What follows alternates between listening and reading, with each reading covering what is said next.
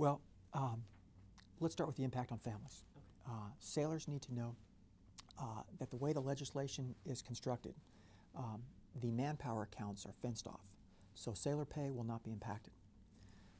For the civilian component, for critical to our team, there's no way we'd, we'd be where we are in OIF, OEF, 10 years into the longest sustained combat operations in American history, uh, without the backing, support, and the coordination of our civilian component of our team.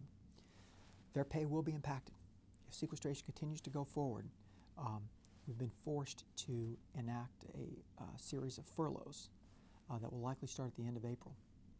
Um, Navy leaders throughout the fleet have been um, advised and continue to be advised with the latest information on how this will play out.